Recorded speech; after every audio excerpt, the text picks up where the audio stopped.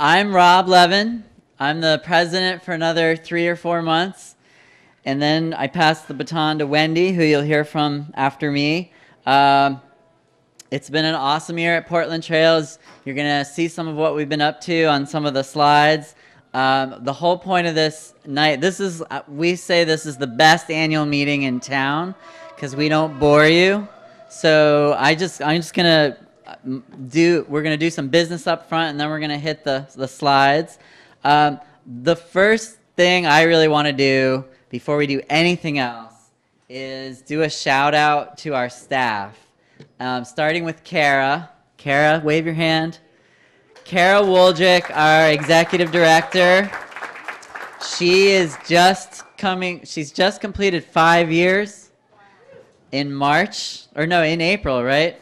Um, we are so excited to have her. I had the privilege recently of conducting the uh, the performance review um, and saw so many you know glowing comments from staff and board, and um, she's so appreciated on the inside level. I, um, some of you know her um, in the audience. If you don't know her, go up and say hi to Kara at some point um, during the intermission. She is just a superstar, and we are so fortunate to have her for five years and for another 25 to 35. We're, we're talking that over.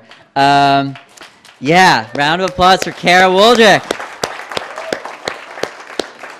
Um, and then just wanted to quickly introduce the rest of the staff and thank them for another amazing year of dedication to the mission. Um, Jamie Parker, where's Jamie? Jamie, 15 years. He started out as a volunteer, some contract time. Um, he's our Trails and Active Transportation Manager. Most of you probably, I've never met someone who doesn't know Jamie, but if there's someone here, go and meet him so you keep the perfect, perfect score. Um, 15 years. Daniel Bishop, um, Stewardship and Volunteer Coordinator. Everybody say hi to Daniel.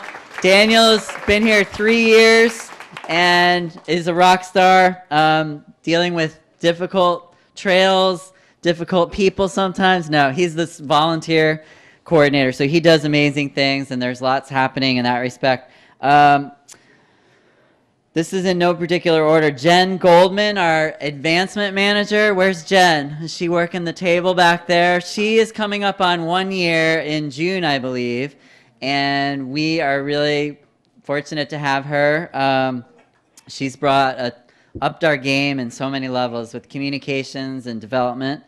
Um, so um, next is Kathleen Egan, who's been with us for five years, the development coordinator. Where are you, Kathleen? All right. Uh, and then Catherine Buxton. Where's Catherine? It's so, I'm having, yeah. Catherine's in the back. Shout out for Catherine. She's been with us two years now as the communications and outreach coordinator. And I'm introducing you. We are a small enough group that we want you as members or just supporters to know who we are first name basis. So go and say hi to folks in intermission or after the slideshows. Um, and then last but not least, we've got Sheila Sullivan, who's been with us for eight years on the school grounds greening. Sheila, thank you. And where's Laura Newman? Laura Newman, actually, maybe the longest stint, 17 years. She didn't want me to say that for some reason. So, who did the math with me? I, I said each person's years. We, anyone know? We, if you add up everyone's tenure, we've got 56 years of experience on our Portland Trail staff. And that speaks both to the dedication and uh, commitment um, from people in their first year to people in their 17th year. So a huge round of appreciation and applause for our talented, amazing staff. Okay. So now we have some goodbyes to make. We have three board members who are departing us. Um, their their terms have ended. They're not departing in any other grand sense. Hopefully, um, is Tom Farmer here tonight? There's Tom. Okay, great. Tom's been on the board since 2005. Not too shabby. Um, Trails Committee stalwart from the beginning um, has donated tons of volunteer professional time as an engineer and, you know, just rolling up his sleeves and getting out there and working. Um, has done so much over the years. Um, and we're, we're, we've had a great run since 2005 with Tom Farmer. So let's please give him a huge thank you. Yeah. Tom worked just one other. He he did a lot of work on the Bayside Trail. So if you were out there today or recently, you can think of him next time you go there. He worked on connecting Libbytown um, and the West Commercial Street Trail. So he's had his hands on lots of things. And the good news is he's staying. Write this down, everyone. He's staying on the Trails and Active Transportation Committee. So we're not fully letting go of Tom Farmer. Um, then we've got, where's Steve Gall? There's Steve. All right. Steve Gall has been on the board since 2006. I mean, sorry, 2011, six years. And in that time, how many board meetings do you think Steve missed? Zero. One. I set you up, right? He was such a lazy board member. He missed a meeting in six years. Um, no, he was, and you know, they're, they're showing up for the board meetings. That's kind of the least we ask of a board member. And then they're serving on committees and really getting things done at the committee level. And Steve is a model, has been a model of hard work. He's been on just about every committee that we can think of. Development committee, he's chaired the finance committee. Um, he was actually the chair of the executive director hiring committee for Kara. So we have him to thank in part for that. Um, he's gotten our financial policies in shape um, in a way that that uh, we you know we could only have dreamed of before, and and he brings treats to committee meetings, so he he knows how to butter everyone up that way. Um, we will miss you, Steve. Thank you for your six years of really um, intense impact impacting service. So thank you, Steve Gall.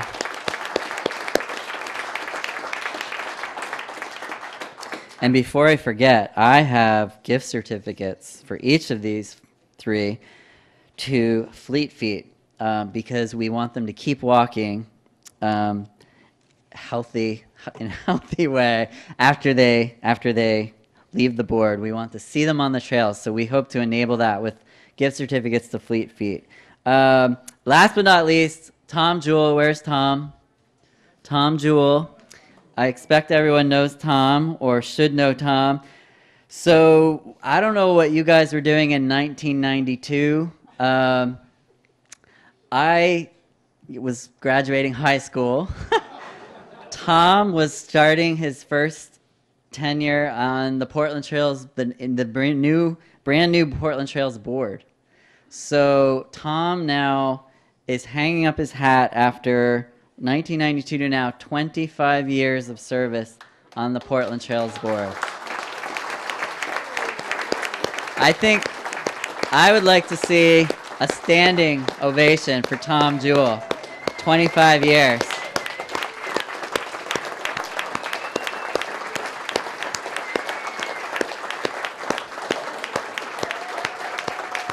Woo! Tom, Tom, Tom. Um, if you've ever been to Jewell Falls, one of our two waterfalls in Portland, um, that was donated by his family. And uh, he's had such an impact at so many levels. We could have a whole evening um, just talking about what he's done. But we really appreciate, Tom, your 25 years, 1992 to 2017. Wow. So thank you. Thank you to all three. And, and uh, and I'm gonna, I said I'd fling these out. That's probably not the best way to, I'll hand these out. Um, and with that, um, I'm going to, oh no, I have one more thing to do. Okay, this is an exciting piece of paper. This is a membership envelope. How many of you are already members of Portland Trails? Raise your hand. Okay, good. Most people. Now, I'm not gonna I'm not taking notes here, but anyone who's not a member, you can you can either volunteer to raise your hand or stay anonymous. But we would encourage you to go to the back and either grab one of these, Or Catherine has a card and she could make you a member in seconds tonight. So you can walk out of here with your head, head held high, proud of your newfound membership in Portland Trails. Members are, it's, it's the foundation of everything we do. And uh, we would love to have have you as a member if you haven't had a chance to join yet, or maybe you've lapsed, and uh, we'd love to welcome you back into the fold. So please, uh, please see Catherine. Um, okay, now I'm going to hand it over to Wendy Suehrstedt, our incoming president. Hi, good evening. It's so nice to see all of you here tonight to help us celebrate the past year's uh, experiences and uh, talk about what's going on in our city that makes it such a wonderful place to live. As uh, Rob indicated, we'd love for everyone to know not only our staff, uh, but our trustees, uh, if at all possible. So, again, many of you know us, um, but for those of you that don't, I'm just going to go through the trustee list. If you're here, if you could just raise your hand, and I would strongly encourage you to talk with these folks during the intermission. Uh, hopefully, walk away getting to know us better as well as getting to know the organization better. Um, I'm going to leave two people off as I go through this list. Don't worry, I'll be back. Um, so, besides Rob, who we've all met, uh, I would just like to ask uh, Matt Bahl if you could raise your hand.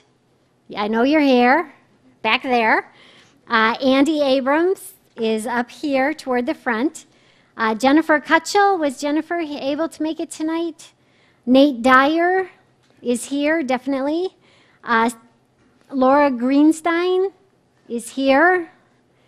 Uh, Bill Hall, Alex Yeagerman, Yvonne Moumet, Kate O'Brien, John Osborne, Matt Forsyth, and Stephen Wells. Uh, so that is the team uh, that is helping to propel Portland Trails forward in obvious conjunction with the fabulous staff uh, of Portland Trails. The two people that I left out are coming their second term, so each of our terms is three years. They have served for six years.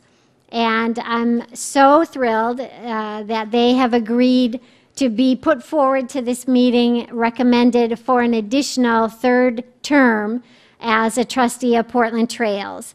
Uh, first is Rachel Alfond. So Rachel's here. Uh, over her past six years, she has been so instrumental to ensuring that the events uh, that Portland Trails holds have been successful She's been a key, key person to getting the newsletter out in a timely fashion with really great information in it. And uh, finally, has done some remarkable work uh, in development to help ensure that Portland Trails has the funding necessary to keep all of our trails in great shape. So, Rachel is up for election for a third term. Uh, our other person up for election for also his third term is Mark Arienti. Mark, where, where are you? Back in the back. Uh, so, Mark uh, heads up our Trails Committee and has certainly played a very valuable role in working to ensure that the trail system remains very well maintained and sustainable for all of us uh, for future years. Uh, so we thank Rachel and Mark for their past service, and I uh, put forward a recommendation to this group to reelect them for one more term as a Portland Trails trustee. Uh, for that, I need a motion from the floor. And a second? All in favor? Thank you very much. Uh, with that, I'll turn the mic over to Matt, who will give us our finance report. Thank you. They usually make the finance guy wear a tie, so that's why I've got one. And just so you know, Rob, in 1992, I was 10 years old. So you were you were graduating high school, which I like to point out to every chance I get what I was doing then. Uh, so Kara told me to be brief, so I will be brief. Uh, we had a solid year thanks to exceptionally talented staff. We exceeded our uh, annual appeal goal by raising over $118,000. You should clap for that. That's a big deal. So I think, you know, we, we remain on sound financial footing. Our, our balance sheet remains strong. We continue to find great success with our uh, wonderfully talented staff, our really supportive volunteer base, and uh, we even raised our goal next year for the annual appeal based on the strength. So you'll be hearing from us again. Uh, and we do appreciate all of your generosity and all you do to make Portland Trails so special. So with that, we'll turn it over to the fun stuff. But thank you all for your support and thank you for joining us at this meeting. All right, thank you all for coming tonight. My name's Kara. I'm the executive director of Portland Trails here. Um, welcome to the annual meeting. We're na- we have now transitioned into the 15 by 15 portion of the evening. Um, I want to thank John and Space Gallery for hosting us tonight, uh, Legion Square Market and Standard Baking for donating the great snacks. Um, thanks to our members, our volunteers, our staff, board members, fans, supporters, uh, all of the rah rah cheerleaders we have. Um, we're 26 this year. It's not really one of those anniversary years that we're going to go hog wild about. Um, but 25 was awesome, and we're still recovering. So thanks for helping us celebrate that. So we have a new property in Westbrook. We have a new website. We're going to be focused on habitat conservation on the Presumpscot River estuary in 2017. Um, we are supporting some groups by doing some mini grants in placemaking and helping them to build community in their neighborhoods this year. And we never take our eye off the ball when it comes to active transportation and supporting people walking and biking to get to where they need to go. Um, and Sundays on the Boulevard will be starting very soon out on Baxter Boulevard. So get your roller skates ready to uh, rock on down Baxter Boulevard every Sunday from 9 to 4. Well, we create a lot of fun. We also have serious responsibilities. We have about 70 miles of trails we're responsible for, over 100 acres of conservation land that we manage. Um, and we like to balance that with lots of fun and different activities, which many of you have engaged in.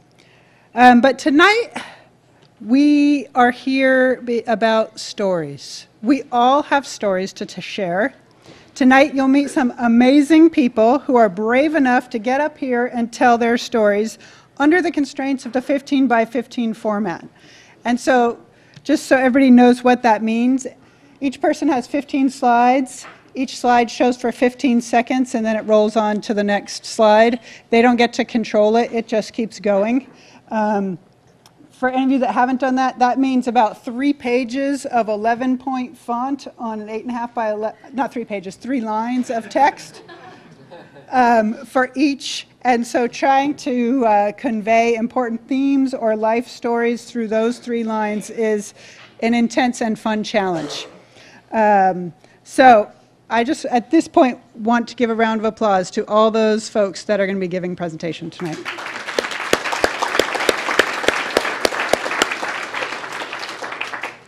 Combined, tonight's stories reveal the character of our community. It's easy to see so often where our neighborhoods or city policies or transportation systems or schools, where they could use improvement.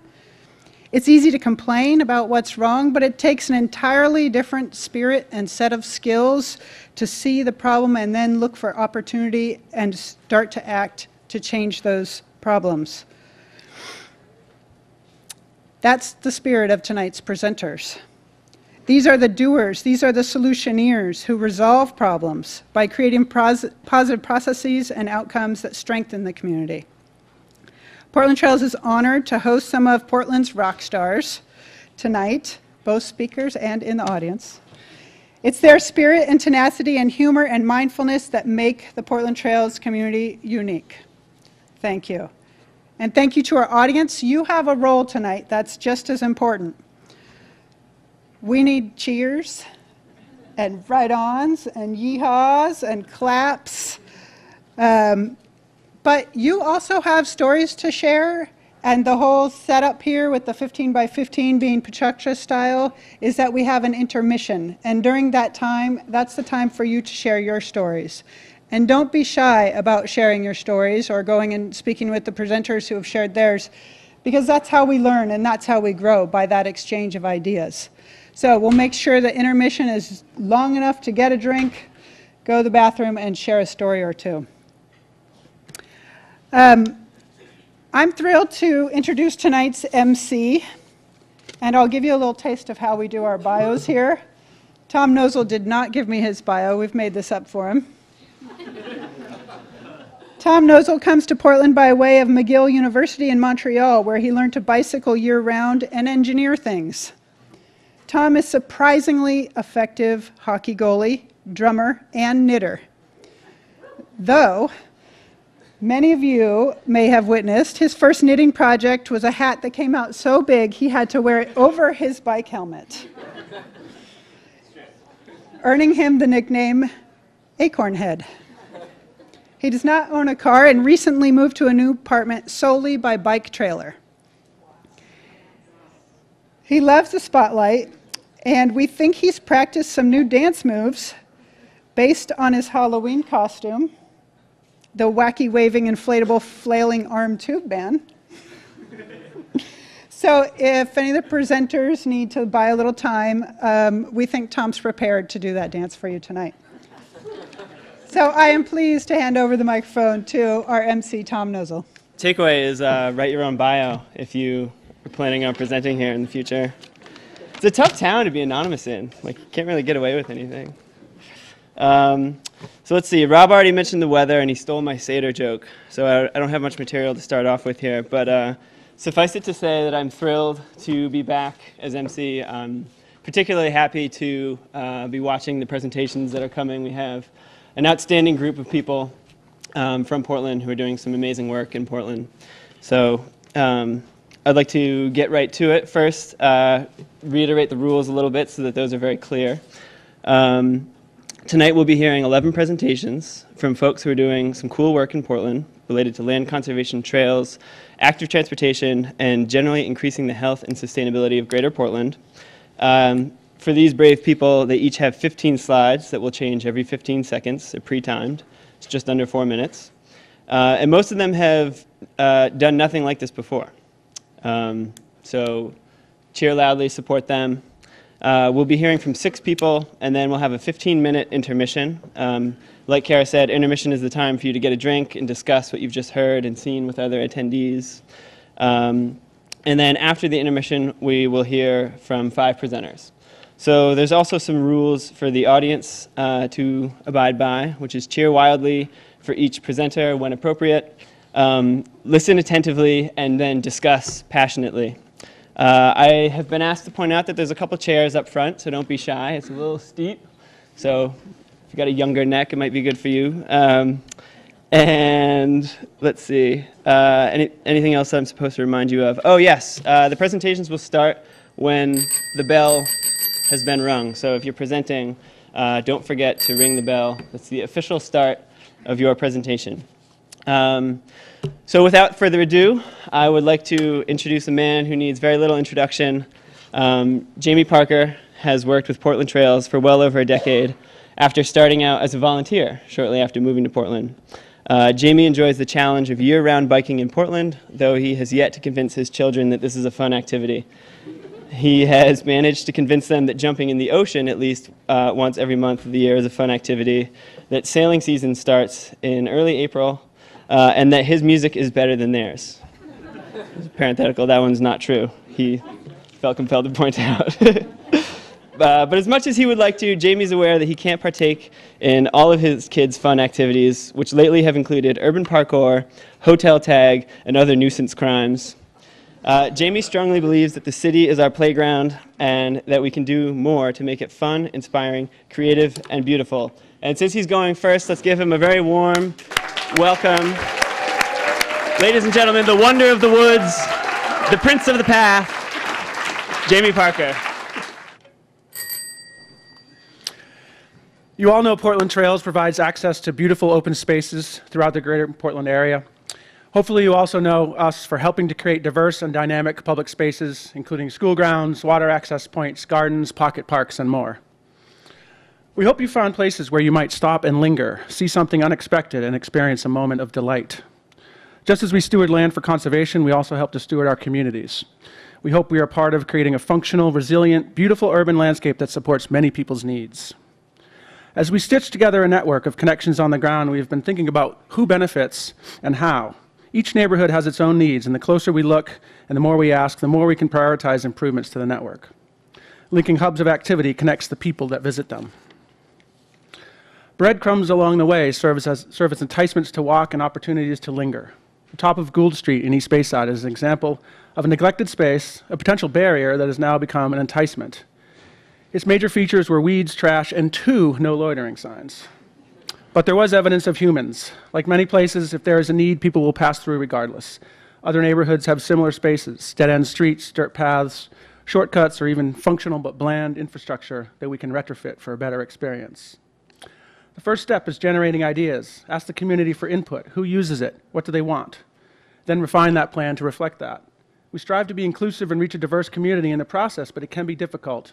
And as an organization, we're committed to working on that. Once we had a plan, the very first thing I did was cut down those no loitering signs. not, not really, not really. The first thing I did was get city approval through every department, ensuring there was no cost to the city and PTA would maintain it. Reached out to all the adjoining residents and businesses, and then I cut down the signs. A clean slate plus abundant salvaged materials and a fluid design equals a happy me. We got to work. One of our goals through this process is show proof of concept. Portland has no shortage of creative, motivated people who can make something like this happen, given a willing city leadership and flexibility. It started to come together. With a team of two, most of the rock work went in fairly smoothly. All materials, you should know, were salvaged locally and carefully curated for form and function. There were some setbacks. So that's me watching my day's work wash away in a flash flood. Um, but there are always setbacks, and failure is underrated. Theoretically, anyways. In real life, it sucks, and rocks are heavy. but we press on. I met a lot of people working on this project over the course of a month or so. The very act of creating something can build community. Even if it starts with those with means, time, and privilege, our hope is that the space transcends those divisions by providing something for anyone who passes through to appreciate. The goal is to create a place with potential to stir interaction and possibly that moment of delight, and to create something unique, since so much of our built environment is homogenous, but it doesn't need to be. People have the power to lead with a vision of what they want from their neighborhoods. Hopefully, part of that vision will be my newest acronym, FAB form, function, fun, art, and beauty. Five things that we need a lot more of. Cities are cultural hubs with creative people and new ideas abound. There's really no limit to the cool things we can do in our communities working together. After dumpster diving for that gorgeous green planter, it's, the space is ready for use. The folks from the AMVETS next door were early adopters, and they love it. They're meeting with me and some, um, some mural uh, painters next week to see about adding a mural. Because hopefully these projects do become cumulative and stir other projects from them. I'd love to see phase two happen. Narrow Gould Street down to 15 feet and green the edges. Small projects like this one won't change the world, but hopefully by creating inclusive, connected public spaces, we can help foster our best natures and throw in some fab for good measure. Thank you.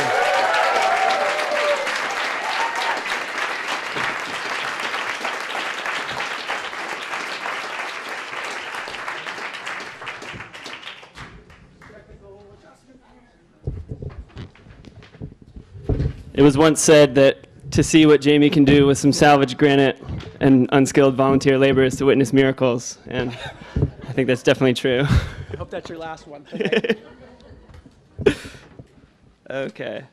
Man, all the renovation, and we couldn't get an ADA accessible stage. But uh, next up, we have got a friend of mine, Sam Herr, uh, who brings with her extensive experience in the bicycle transportation industry, working with the City of Boston bicycle programs, researching bicycle transportation, uh, and with her current work with the Bicycle Coalition of Maine. Sam is board president and founder of the new nonprofit Portland Bike Share Incorporated. She's been a bike commuter for 15 years, and she has been working in the bike share field since 2012. When not working on bicycle related projects and activities, Sam enjoys walking, hiking, traveling, cooking, yoga, and playing with her dogs. Her favorite foods in, uh, include spinach, kale, and ice cream sandwiches. Appreciate the Oxford comma. Uh, and as a native uh, to the Southwest, Sam still finds autumn leaves and snow awe-inspiring. All right, let's go. Hi, I'm Sam. I'm the president of Portland Bike Share Inc., and I believe that bicycles can change the world. How, you might ask? Through bicycle transportation, and the fastest growing form of bicycle transportation is bike share. Bike share is a convenient, low-cost, healthy, sustainable form of public transportation used for short trips. Anyone can unlock a bike from any location in the system, use it, then lock it back to any location in the system. Bike share is growing rapidly around the world. In North America alone, there are 121 cities with bike share systems and many more planned to roll out in the next few years.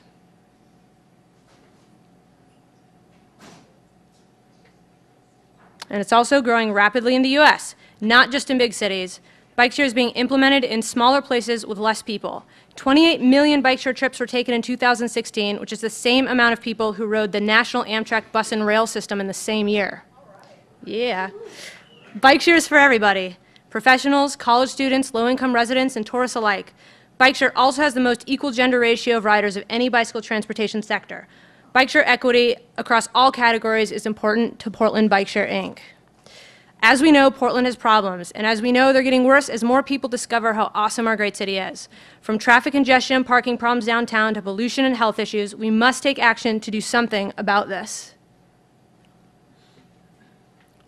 And bike share is part of the solution. Bike share systems are known to reduce traffic congestion and take care of parking problems, increase spending at local businesses, increase real estate value, provide accessible and affordable physical activity, reduce carbon footprint, and make our roads safer. The City of Portland has been interested in investigating bike share since 2012, but they needed someone to make it happen. In 2016, I founded the nonprofit Portland Bike Share Inc. with the mission to plan and implement a bike share system for the Portland, Maine area. And that's exactly what we're doing. We will launch a pilot season with 50 bicycles located on the Portland Peninsula. We will grow a system year by year, arriving at 400 bikes by year five in all of Portland and even including surrounding municipalities like South Portland and Westbrook. For our pilot year, we will select four to five station hubs. We'll make sure to offer free helmet rental program for folks who need them. We'll implement programs to ensure that low-income, non-English speaking, unbanked residents have access, and we're working towards a launch in 2018. We'll use smart bike technology that allows users the flexibility to lock bikes to any rack in the city while making stops and getting to where they need to go. And we have plans to include cutting edge smart e bike technology that will add an extra elec electric assist as the rider pedals. to ride a bike, one can subscribe as a member or engage as a casual user on a pay as you go basis. Users can locate an available bike and reserve it from their phone or computer and unlock the bike from their phone, keypad, or RFID swipe card. Creating a bike share system is a big project, and it's going to take all of us to make it happen. We need partnerships with the private business sector, corporations, and public government. We need grants. We need personal donations. We need people with special skills to help us. We need media publicity, and we need people to talk about how awesome bike share is with their friends. We don't just need bikes, but racks, stations, smart technology, and people power. We have some partners already, but we need many more, big and small, to make bike share a reality. Are you interested in being part of this transportation revolution? Sign up for our mailing list on our website, like us on Facebook, and let us know if you'd like to get involved.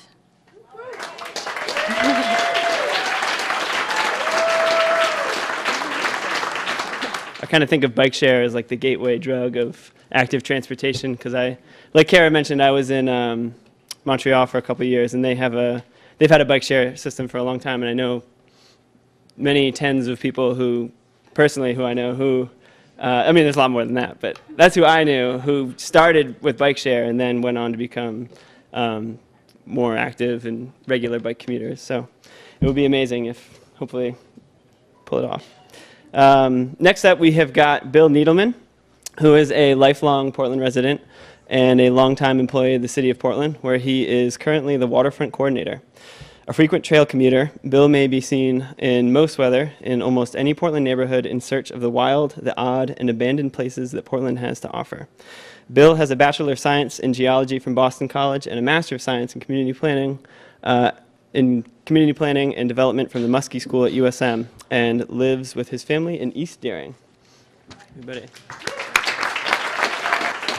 All right, I'm just, uh, can everybody hear me? Um, so I didn't know you could actually use words on the slides, and that's probably good for you because uh, um, these these presentations that we've seen so far have been excellent, and hats off to Sam. It's the second time I've seen her presentation, and it is inspiring. So uh, I call my my talk uh, "Commercial Street: The uh, Place Between the Trails."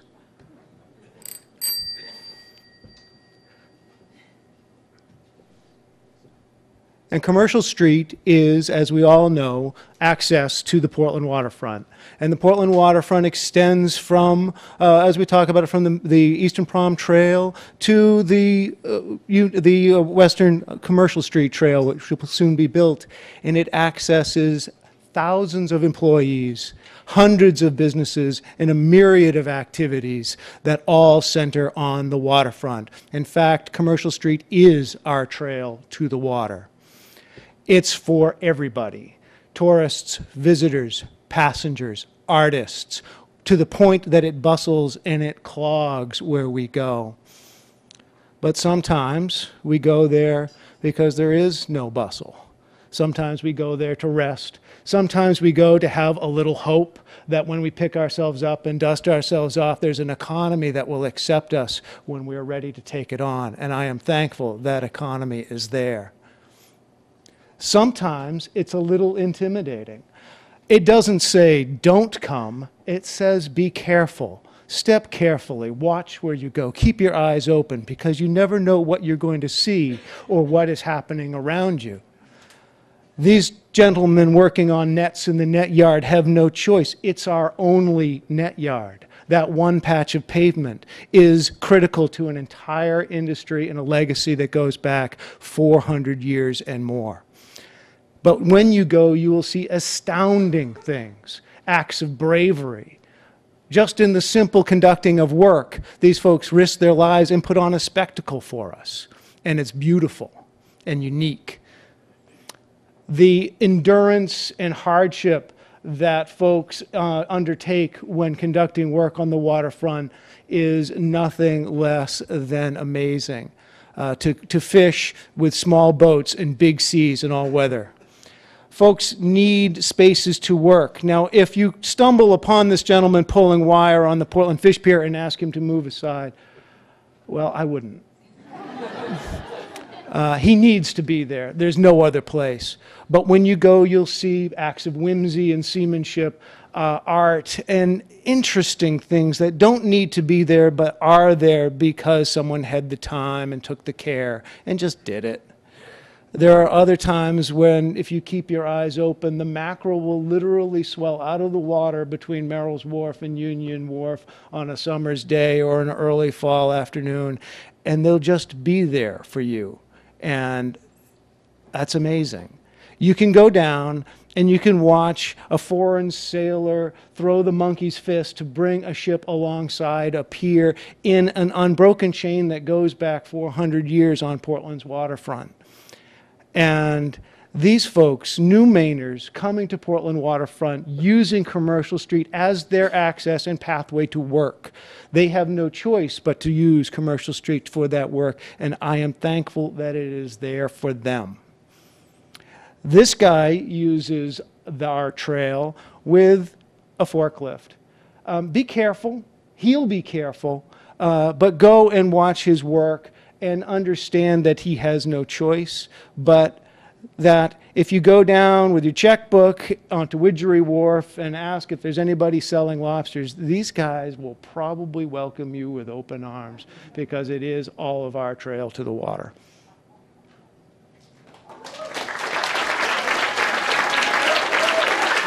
Thank you.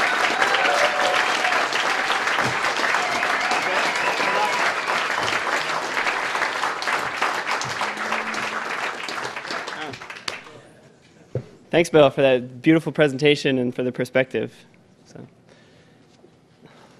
uh, next up, we have got Derek uh, Pelletier and Maryann Welsch. They are uh, part of a family that bikes. Derek and Maryann are a married couple uh, and parents here in Portland. Maryann is an environmental consultant at AECOM, and Derek is an environmental, environmental consultant at Ramboll Environment, Environ. Both offices are located in downtown Portland. Uh, they live in the Deering Center neighborhood, and their two children are students at Longfellow Elementary School. Um, they're a single car family and commute year round via bike or mass transit. And they've been in Portland for 12 years. So, everybody give them a warm welcome, please. All right. Um, so our talk feels like it's not quite as poetic as Bill's. That was beautiful. Um, but nonetheless, here we go. Laura Newman reached out to us to inquire if we'd be willing to share our story as year round bike commuting family. We were a little surprised by her invitation because we think our story seems kind of boring. We're not biking across the country, we're just getting to school and work here in Portland. While we always say that we bike because we can, we did choose our neighborhood based on its walkability and bikeability. That's pretty obvious on nice days like today when you see the bike racks in front of Longfellow. This is one of three that overflows in the fall and spring, and it's a great sight to see. Now, we're always reluctant to talk about our transportation habits. I mean, we're here tonight because we believe that cycling is a reasonable and smart way to get around, but it's difficult to talk about without sounding like a smug jerk. You all know the stereotype, and these folks don't change anyone's minds. But here we are. Before moving to Portland, we lived in Seattle, where parking was expensive and the hills were everywhere. We got used to bike commuting year round, and when we came to Portland, we found a very bikeable town. I mean, just look how flat our commute became. When we had kids, we soon learned that getting around via bike in most kinds of weather draws some attention. We got mostly positive feedback, but some was negative, and some suggested that maybe we weren't being responsible, like these. The bottom one's my favorite. Or this one. How do they hold on with their hands? After hearing a lot of these comments, we couldn't help but start questioning ourselves. Safety was always paramount to us, and we didn't feel like we were being reckless with our kids, but were the risks too high? So I joked to Derek that we should write the New York Times ethicist, and he did. And then the New York Times ethicist wrote back, and he pointed out if we wanted to be the safest, we should drive a tank. And we should also consider that bike commuting promotes this healthy, active lifestyle to our kids and minimizes environmental impact. So since then, we've expanded where we go with our kids on bikes. We bought a cargo bike, which lets us tow our kids' bikes when they get too tired. And this has really expanded where we, where we travel around Portland. The beauty of biking in Portland is that anywhere you have neighborhood streets, you can string your own route together. That's off of major traffic routes. We almost never have to ride on Forest Ave, Brighton Ave, or Washington Ave because there are parallel routes along the neighborhood streets. For example, in our neck of the woods, Evergreen Cemetery provided a great option for our commute to our daughter Charlotte's daycare, getting us off Stevens Ave and providing a quiet route that even she could ride at four years old. Both Maryann and I are fortunate enough to work downtown and appreciate the ease with which we can travel by bike from our neighborhood to our offices. Even in winter, you can be rewarded with sunrises over Back Cove like this on the trip into the office. It wasn't. Um, so this is great, but it wasn't always like this for both of us. Maryann used to work out by the mall. While she found low traffic routes to get past some of the unpleasant sections, biking out there is not some place we'd think to ride with our kids. And that's a shame because there are neighborhoods out there too, and it shouldn't be a privilege to get around by bike. So we feel pretty lucky to live where we live and have the easy commutes that we do. And there are so many benefits of bike commuting that we have realized over the years. And one of the big ones for our kids is the sense of accomplishment of getting from A to B, even in less than optimal weather. Um, I also love the independence and freedom that our kids get from biking. For them, it's no big deal to bike to soccer practice or to our neighborhood library branch or further afield to downtown for a special treat. But most especially, I love the bonding that happens for us as, our, as a family. Um, biking is something that we can all do together. Granted, our kids are young and they're going to change and grow and have different opinions. But for now, traveling around town by bike offers a sense of adventure and brings joy to our everyday lives. Thanks. And uh, next up, we have Coco Kazadi, who is from the Democratic Republic of Congo. And he recently moved to the US and he works diligently on his integration in the American society. He sets his priorities in improving his English and growing his social network through volunteering. Serving the community through and with the Bicycle Coalition of Maine fulfills his natural propensity to help others. A bike lover since childhood, Coco is part of a dedicated system of volunteers and a diverse group of, prof- of professionals that diligently work with other organizations and public entities to make Maine's roads safer for both bicyclists and pedestrians.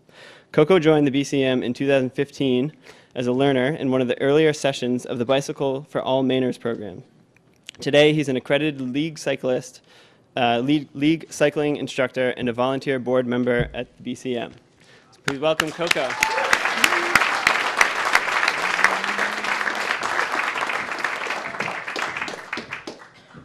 Hi, good evening. Thank you for having me. Um, I'll try my best to communicate clearly. and uh, uh, everybody who have been here before have set the bar so high. Well done. Um, my name is Coco Kazadi, uh, a new Mainer living in Portland. I love bicycling. I also love red wine, but I don't drink uh, and ride. Um, I'm also a league uh, bicyclist instructor and um, um, um, uh, a volunteer board member of Bicycle Coalition of Maine. Um, I came in touch with the BCM by a flyer at adult Portland Adult Education, and uh, it was amazing because it was advertising um, um, a program called uh, Bike for All Mainers, and it was free, uh, um, uh, and it provided uh, a free bike for all the participants. I registered, and uh, eventually did the course successfully and with great enthusiasm. And because of that, the Bicycle Coalition maintained me and retained me, and suggested me to come back as an instructor, which I accepted and I get involved. I got involved more and more with the Bicycle Coalition of Maine, and they offered me to uh, get accredited as an instructor, uh, um, um, as an LCI, I would say, and uh, I accepted. I did it successfully with enthusiasm again, and I got even more involved with the Bicycle Coalition of Maine, uh, being um, an instructor. And uh, uh, bear with me. Uh, okay, let, let, let's just jump there. Okay, um, who are the, the, the, the, beneficiaries of this program? They are adults who have no means or very little means to be able to buy a bike to commute. And uh, they are also people who live in uh, areas where uh, public transport is not uh, uh, deserved. So because of that, we believe that um, this program can be very helpful to those members of the community. And also, uh, at this point of time, at this point in time, we would like to increase uh, the possibility and the capability of that program to, to have more people uh, involved, especially ladies with kids, or uh, students, or people who work on, on weekends, uh, who cannot uh, always be able to participate. So we are working to, to extend the, the, the, program with the help of the community, of course, and we believe that even if we produce a little bit of, uh, uh, people who are kind of aware of the, the road safety, the exponential growth of people who are aware will help grow even a, a bigger uh, community of uh, safe bikers and uh, uh, pedestrians. Um, the program runs for six months and uh, uh, from May, and we wish that all of you can get involved here and outside to donate not only money but uh, uh, uh, bicycles, all bicycles that you don't use. And I am a testimony that this program works and it's efficient, and we, we really want you to, to be part of it in the future. Here we go. Coco, I hope every single Mainer takes you up on your offer for their bicycle. uh, next up, we have Laura Newman, uh, who used to teach eighth graders how to write five paragraph essays before discovering her job at Portland Trails and then starting up the School Ground Greening Coalition in 2013. She lives in Portland with her husband, their two boys, a spotted dog, uh, and has discovered that the key to happiness is playing ice hockey. I concur. Thank you. This is so inspiring. Thank you to everyone who's gone already. Whew, okay. Yes? What? Okay. All right, here we go. When you get to Lund, Sweden, or Copenhagen, Denmark, everything in your environment tells you to get on a bike. The train at the airport says, bring it on here. And when you debark in Lund, you are greeted by this sea of bicycles. On the street, you're invited to take a break. A few sheepskins make a chilly ramp wall into an inviting seat for an afternoon glass of wine with a friend. There are many such solutions here, simple. These are resourceful people who love to be outside. There's no bad weather, only bad clothing. So at this school, parents know to leave their children with all the changes of clothing they might need. Floor grates at door entryways keep dirty puddles out, and a rack keeps boots ready to go out in dirty puddles. There is an attitude of practical, hands on problem solving in simple, direct, and economical ways. I totally get why IKEA now. Water play is everywhere parks and streetscapes, inviting children to be the young engineers that they are. And the spirit of play is integrated into the landscape in ways large and small and surprising, inviting the child in all of us.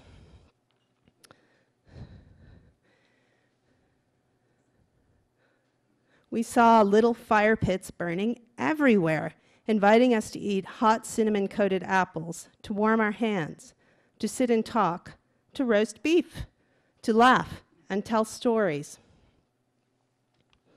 So I think that so many bikers went over this spot that it developed blisters that just never went away. My colleagues here at PT asked me to bring back pictures of cool bike racks, but I really couldn't find any unique ones because they were absolutely everywhere.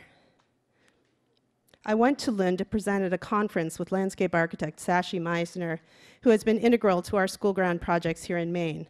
Our first event was in a park, and I was in a jet lagged haze, but these lights magically led our bikes out of the darkness. Ping pong tables are a common sight at schools, parks, playgrounds, and along bike paths. They are as standard there as swings and slides are here.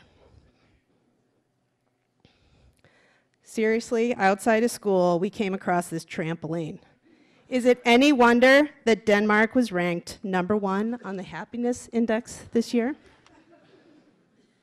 And these two things made me ridiculously happy. This giant pile of matches and the random five foot painted wooden radish we came across in the grass outside some apartments. There was a mushroom and an apple, too. Reverence and love for the natural world are expressed everywhere, from medieval wood carvings in the Lund Cathedral to these painted wooden posts at a playground in Malmö.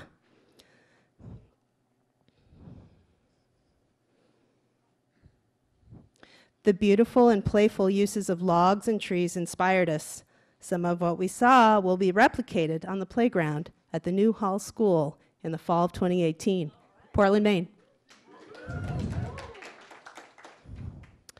Copenhagen has this mile long linear park which celebrates diversity and is filled with ideas and artifacts contributed by neighboring, re- neighboring residents from over 60 countries. How might we do the same here?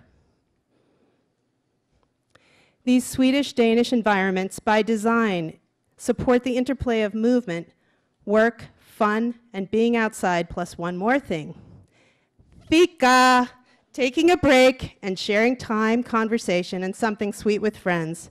So I would like to invite you to celebrate Fika with all of us, have conversations, and in honor of Fika, I brought some Swedish treats, so I will be handing them around.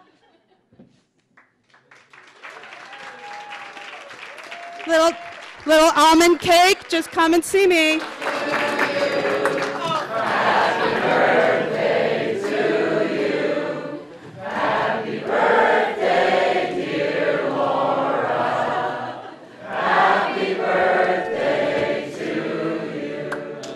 Without further ado, we will move on to the second half of the presentations.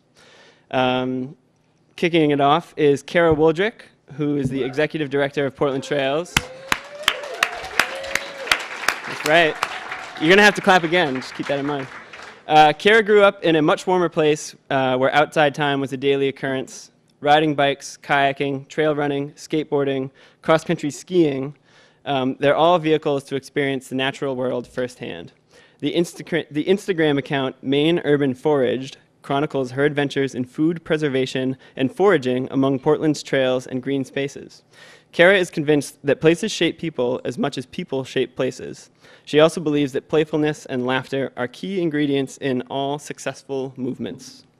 So please welcome Kara. So before I start, uh, thanks to Pete Carney, who's on the computer tonight making these slides happen. Um, and he and I have just tried a new experiment, so it's possible my first slide might stay up there for a long time or never show up. We'll just go with the flow on that one. Um, we'll see. Uh, before I start, though, I should say that uh, title of my presentation is If Portland Trails Ruled the World in Westbrook, Portland, Falmouth, and South Portland. And this is non-sanctioned by the Board of Directors and the Advisory Trustees. And the list was really long, so I've only got 15 slides, so I've only got 15 here, but come back next year, I might do the next 15, and they'll probably get more outrageous as we go. Pete, ready for the experiment? If Portland Trails ruled the world, we would complete the Peninsula Trail encircling Portland with a spur, with encir encircling Portland and with a spur to Falmouth. We'd also complete the 24-mile loop trail between Westbrook and Portland's downtowns. If we ruled the world, we'd Pandora-ize the Bayside Trail. From the Eastern Prom to the Transportation Center, creating a corridor of unique Portland lighting and enticement that would be visible throughout the long winter. Trails would serve as ideal wildlife habitat and wild food corridors. This green infrastructure would benefit people and nature. Imagine the foraging opportunities.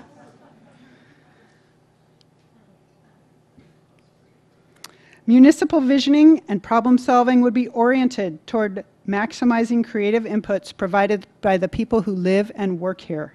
Like all Portland Trails projects, our community's evolution would happen through people-powered transformation. We can become visionary communities, rich with our historic character and oriented toward the future. We'd plan for the impacts of climate change while completely eliminating our contribution to it. Winter is a core part of Maine's identity and needs to be fully considered as our cities and towns grow.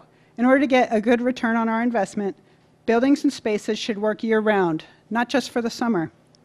All new projects would celebrate the best of the long winter. By design, they would block wind, maximize exposure to sunshine, and use color and lighting to enliven places, and they would support winter activities like skating trails. We'd put Franklin on a diet, and we'd help, we'd help state and high go both ways. Bayside, India, Munjoy, and downtown neighborhoods would be reconnected by a narrow, narrower street, new commercial and residential development, and greatly improved walking and cycling. Thinking about some of our historic plazas and squares like Morrill's Corner and Allen's Corner, yikes. We would transform them into human scale neighborhood hubs that are still appropriate for the future demands of commuter transit. If we ruled the world, our municipalities would have more flexible codes and permitting processes that would allow for residents to help create the fun, unique neighborhoods they want by allowing for pilot projects, pop-up art, infrastructure, and activities. We'd make bike share happen now. Visitors wouldn't need to rent cars, and commuters could take transit into town, then use bikes to cruise around. It's a no-brainer when you rule in an imaginary world with no financial constraints. Some schools only have 10 minutes of recess. The research is clear. We all learn better and are more productive when we move throughout the day. If we were in charge, 30-minute recess would be required for children in schools and adults in workplaces. Many local employers provide free or subsidized car parking for their employees and no incentives to encourage healthier options. If we ruled the world, employers would also have to offer free transit and bike tune-ups. If we were in charge, we'd close Exchange Street to private automobiles, allowing deliveries during restricted hours, but the rest of the time it'd be for walking and shopping and having a meal and enjoying the old port. If Portland Trails ruled the world, everyone would fall in love. Researchers found that if someone shifts from a long driving commute to a walk, their happiness increases as much as if they'd fallen in love. So ditch the car, take a walk, and fall in love. I was kind of hoping that was going to end with like, which is why I'm running for city council, but she didn't do it. Maybe next year. Uh, no, for real though, I've had the pleasure of, of working with Kara a little bit more closely this year. Um, and I gotta say, seeing more closely her dedication and her philosophy about um, why we do this and who we're making uh, biking and walking easier for is really inspiring. So, once again, Kara Wooldrik, I would say. And, uh, and next up, we have got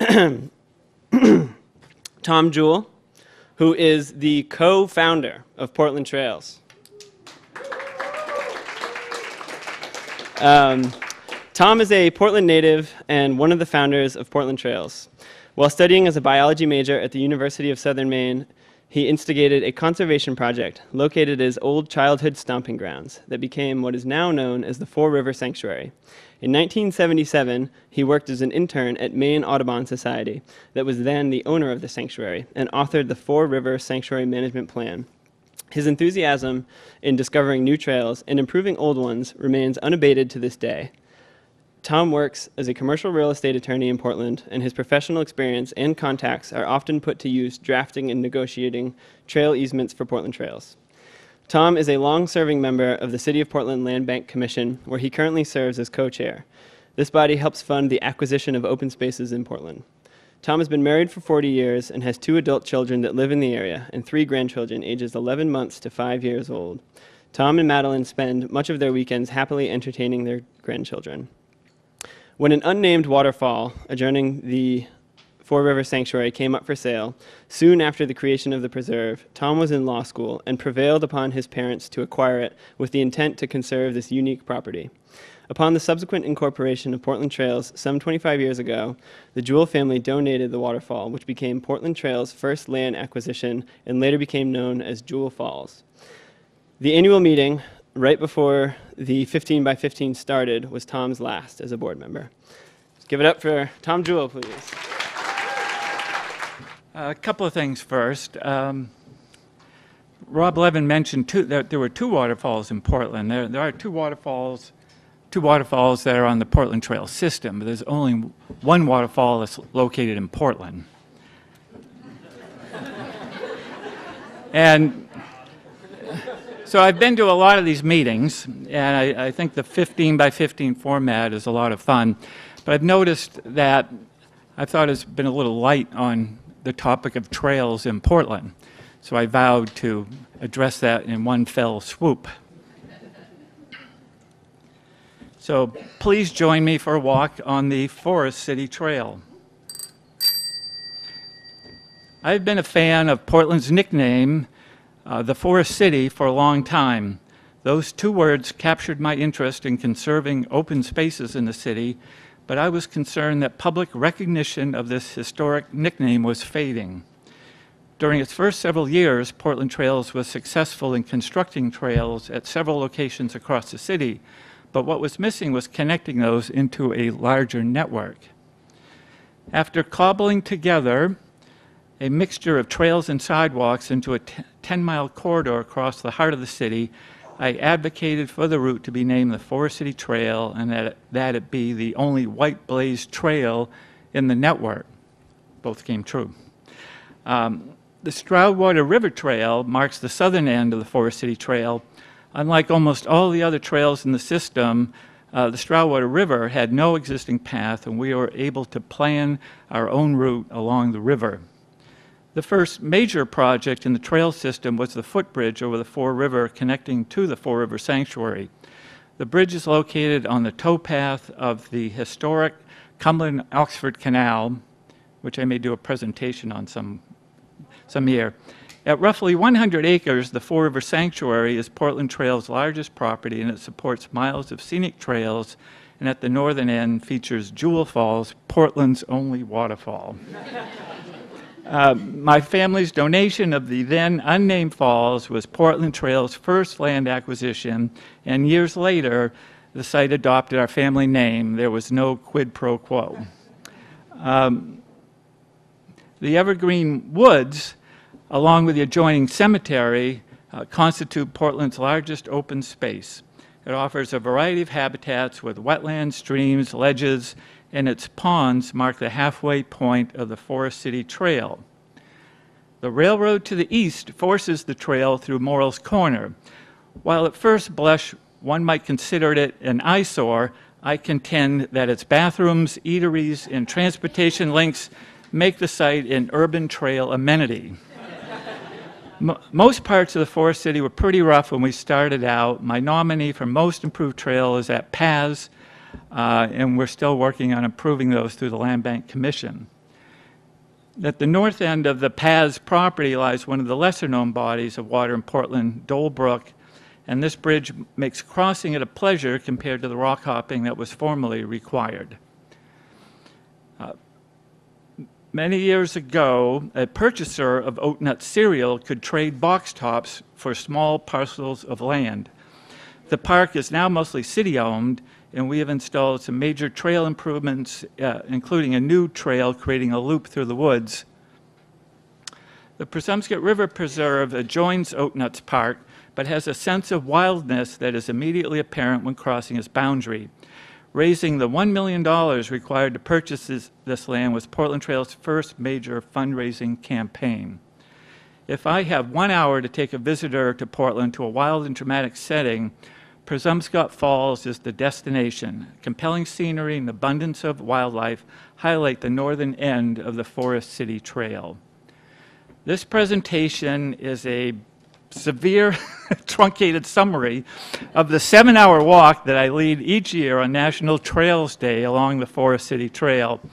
This, my guest host this year is our new uh, Parks Director, Ethan Hipple. Uh, space is limited. Uh, it's always the first Saturday in June. Uh, so sign up early, and I hope I see you on the trails. I guess you could say I'm currently section hiking the Forest City Trail, but who's that? Who's who's done it like a through hike in its entirety? Hands up. Nice job. Very cool. Someday. Um, hats off to the Jewell family though for seeing a chance to uh, to get a waterfall named after them and then and going for it. You know, there's not that many nice ones left without names. So. Um, so next up, we've got Doug Malcolm, who is the founder director of the Portland Wheelers. Uh, Doug is a father to three adult children. He's a registered nurse, having worked most recently on the traumatic brain injury floor of New England Rehab Hospital. His passion for Portland Wheelers is a direct result of his love of biking, his clinical rehab experience, and the need to get those with disabilities outdoors and having fun. Doug arrived in Maine from New Hampshire in the early 70s as a back to the land hippie drawn by Helen and Scott Nearing. When farming didn't work out, uh, and it didn't at all, in 78 he came down to Portland. And I wanted to fact check this first, but soon after starting Merry Meeting Chimney Service, launched just three weeks before the second oil embargo hit, when everyone suddenly wanted to switch to wood or coal overnight, and he had the only display ad in the yellow pages. Remember the yellow pages? The business took off like a rocket. Soon, soon it's so cool. Uh, soon it became northern New England's largest operation of its kind. For 12 years, it was quite a ride. Later, with a couple more businesses under his belt, he founded and was first executive director of Maine Initiatives, a public foundation still going strong almost 25 years later. When not directing Portland Wheelers or riding his own bicycle, Doug likes to explore New England by motorcycle, paddle a sea kayak, hike public trust lands, and visit his favorite man, Maine island, Vinalhaven. Friends describe Doug as a nice guy and a happy dude who whistles almost constantly. He's a big fan of Gelato Fiasco, but he has too many favorite flavors to single out just one, don't we all? Please welcome Doug Malcolm. But uh, I've been looking forward to this. So here we go. No notes. Um, I have to see what's, what you guys are seeing. So this is about a little uh, nonprofit. We got started uh, three years ago. This is our third season. Here we go. Have fun. So most of us can hop on a bike. We can hop on a trail. We can go for a ride, but not all of us. Um, the the uh, mission of, of Portland Wheelers is uh, outdoor adapted biking fun for people with disabilities. This is a shot from the program uh, we were inspired by down the Cape, but I want to use it for our lingo. So the person in the front seat is called a wheeler, the peddler is called a pilot, way back is a safety, and we go out in pods. This is the trike we use. It's made in Netherlands. It breaks apart as you see. The front end becomes a standalone wheelchair. We can roll it into a facility or somebody's home, grab the client, bring him out, hook it up to the back of the bike, go off for a ride. It's the only way we can use our, do the service. This is at Iris. Uh, this is a young man who's blind. Uh, this is on Park Street across from uh, Holy Donut. We give rides to people in all different kinds of disabilities, debility, dementia, uh, all ages. This is uh, Izzy. She's at the Morrison Center uh, for kids preschool through high school who have developmental disabilities like alcohol, fetal alcohol syndrome, Down syndrome. Uh, we give them very short rides. They have a blast. This is uh, Barb. You can't see her head, but that's Barb giving Bill a ride on the Eastern Prom, just to give you an idea. These are electric assist trikes, so it doesn't matter what size or strength the pilot is. We can give rides to wheelers up to 250 pounds. This is uh, Ray, is the pilot who's uh, happier than Doris. Doris is getting a ride in Evergreen Cemetery last fall, the middle of October. She's celebrating her 100th birthday. We have two other centenarians who are 103 each, and, a, and, our youngest is six years old.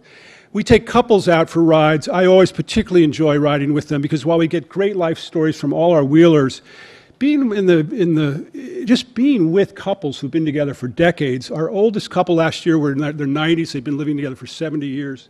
This is a program in Europe called Cycling Without Age. Uh, this movement's going all over the world now.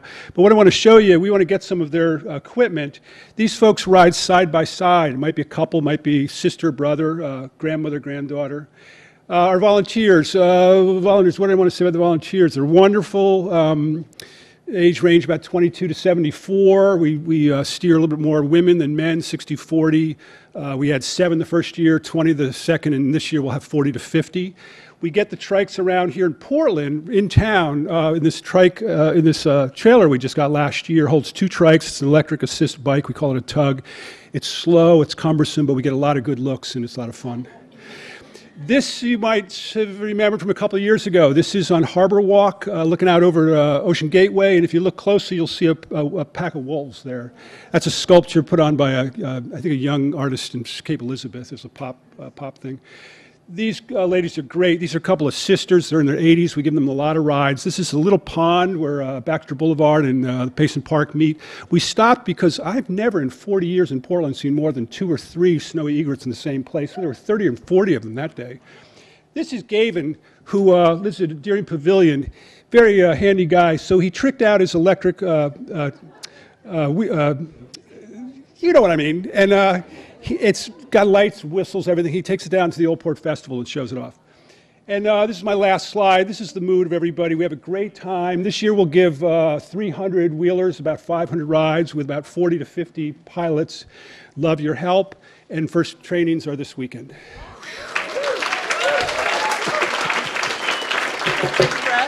Doug was too modest to put in his bio that there's a um, children's book coming out about a gelato loving chimney sweep that retires into a great, beautiful career of public service in his honor.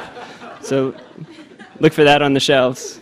No, really, it's, a, it's, a, it's an amazing program. I hope that Doug gets some more volunteers tonight out of it. Um, and finally, uh, nope, not finally. Um, next up, we have Andy Abrams.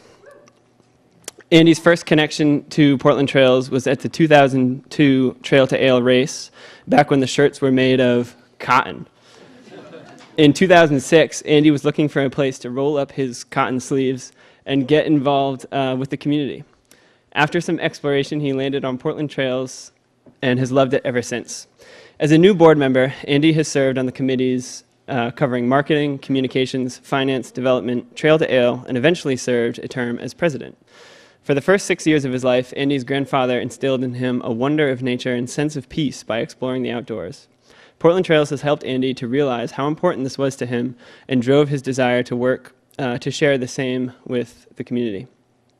Andy's home trail, Capissic Pond Park, where he lives with his uh, Andy's home trail is Capissic Pond Park, where he lives with his seventh grade son and wife Priya Natarajan. By day, he works at United Way of Greater Portland and can be found running on our great trails uh, as often as he can. So please welcome Andy Abrams. Ah, Good evening. So I have the privilege of uh, honoring Tom Jewell, who is stepping off of our board after uh, a very long stint. Um, So let's, let's begin. So honoring Tom Jewell. Um, Tom has been on our board for 26 years now, and so we wanted to take a few minutes this evening to recognize Tom for some of his accomplishments. So, known as the man behind Jewell Falls, in the mid 70s, Tom took the initiative to contact Maine Audubon after, being, after they had acquired the Fore River Sanctuary. Having played there as a boy, he was the logical choice as the ultimate tour guide to get things rolling. As a recent college grad, Tom was already looking out for the conservation of land as he convinced his parents to purchase the piece of land adjacent to the Fore River Sanctuary that was later become known, to become known as Jewell Falls. In 1977, he wrote the Fore River Management Plan, which was hand typed, as you can see, influencing the protection of land around the Portland Peninsula. Tom's sense of time, land, and vision were apparent early on when he urged the planting of smaller increments of land.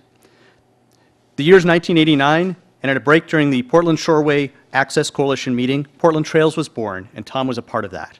The first vision map came out shortly thereafter. Remember this? As a longtime member of the Long- Land Bank Commission, Tom modeled the partnership between organizations like the City of Portland, Portland Trails, and other organizations. Partnership and collaboration have been very important to Portland Trails throughout its lifetime. 2011, Tom was present when Portland Trails received the Fore River Sanctuary from Maine Audubon, and his words still resonate with me. A hundred years from now, people will come back to this place, and it will, it will still be green and open space for all to enjoy. Tom has built up uh, great friendships over the years, um, working on our trails, and embodies the most well-rounded volunteer on our board at all levels. Here's Tom working with a five-year-old boy on the Oatnuts Trail, building the trail. Now 13, this boy has become part of Tom's legacy when he recalls, this is the part of the trail that I built. Even L.L.Bean recognized Tom's work in 2009 when the company recognized him with the Outdoor Hero Recipient Award. Award recipient. Um, he's one of six heroes from across the U.S. that were recognized that year. Essential education for any trail loving Portlander is Tom's 10 mile walk, with Tom reminding us of our urban trails via a stop at McDonald's along the way.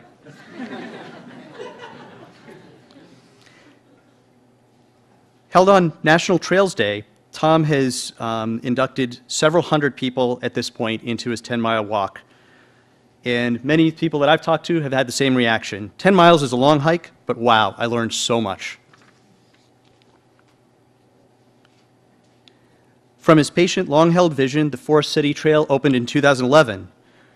The one day hike um, became something to be experienced every day by anyone at any time, though missing Tom's great commentary along the way.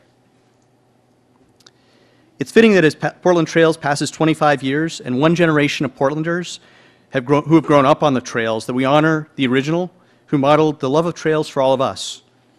Above is a note from Alix Hopkins, one of our early executive directors. Thank you, Tom.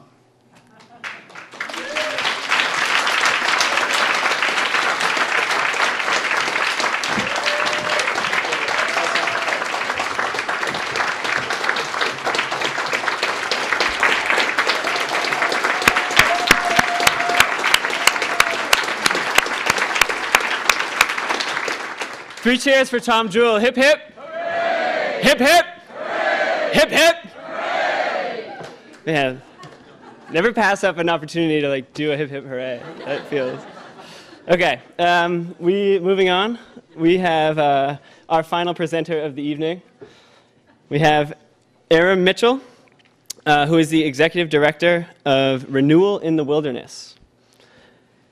Ever since he laced up his first pair of hiking boots, Aram has been walking the long trail that led him to his role as an advocate for the wisdom and wonder at hand in the wilderness. The miles he's covered with a pack on his back have taught Aram the value of walking with levity in a heavy world. When he's not scouting for new experiences of renewal in the wilderness, Aram is probably somewhere in Portland being a pedestrian, patronizing a local coffee shop, purchasing pints, or practicing card trips, tricks. And he's also a registered Maine guide. Just learned that. Thanks. Um, and I had the privilege of being inducted into that hundreds plus on last summer's hike through hike of Forest City Trail. And um, thank you, Tom, for for guiding that. Um, and that walk, along with the spirit of the trails uh, themselves, were really keyly, primarily inspirational in what I'm about to share with you. I love wilderness as a place. I love it. As an idea, as a metaphor, wilderness as a resource for reflection, for perspective, for sustenance. I like going into backcountry places where the wilderness screams in my face, but I especially love the whispers of wilderness that beckon from the edges of urban walkways and the consciously curated pockets of green and roots and trees and trails. At the start of this year, I found myself sorely in need of those gentle whispers. I won't go into the particulars, but partway through January, I couldn't shake the sense that there was just a lot of ugly things happening in the world around me. Still, I also couldn't shake the stubborn belief that there's a lot of beauty yet to be gleaned in the world. And what's more, that there are a lot of hardworking people committed to making the world a more beautiful place.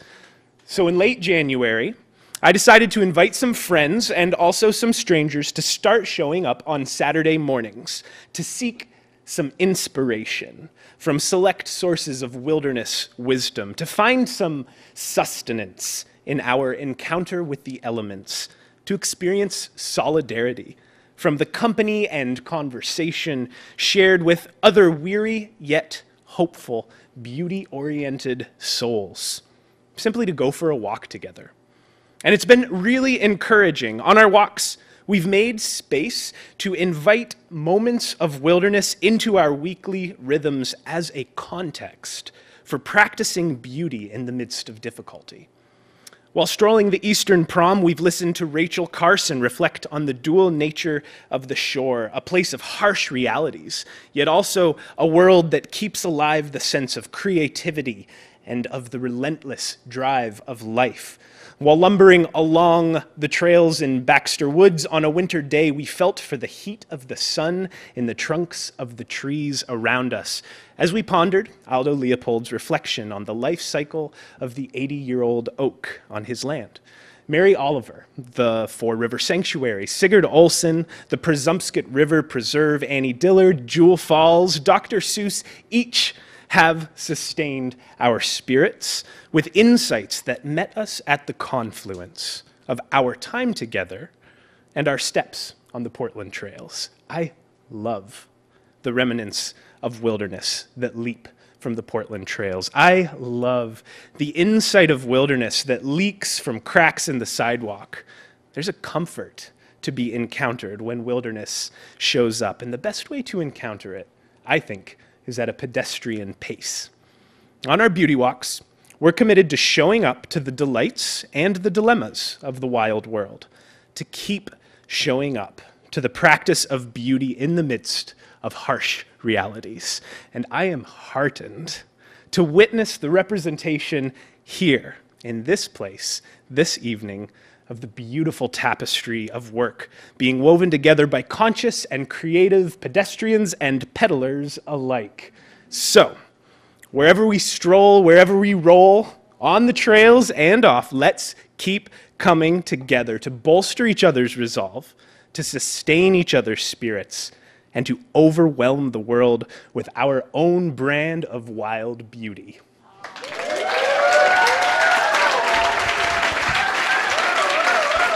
Thank you. Can I say one thing?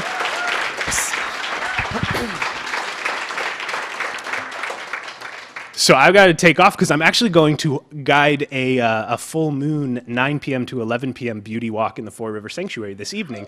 But if you're interested in the details, that's the why. If you want to know the when and the where, my friend Fiona has some, some details, has some information. That's Fiona there. Love to see you on the trails. Get out. Thanks, Aram. That was a wonderful way to bring the evening to a close. Um, we did it. Uh, I'd like to give a big thank you to uh, each of our presenters, Portland Trails, um, Space Gallery, once again, CTN, uh, everybody that worked to make this night um, possible. And once again, uh, a big round of applause, please, to everybody who presented and shared with us tonight.